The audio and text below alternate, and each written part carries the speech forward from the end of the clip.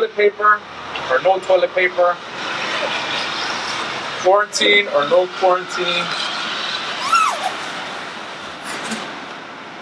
Julia Powell, I love you.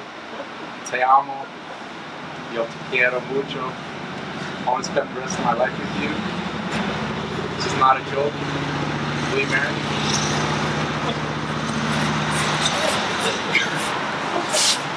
That would have made social distancing very awkward.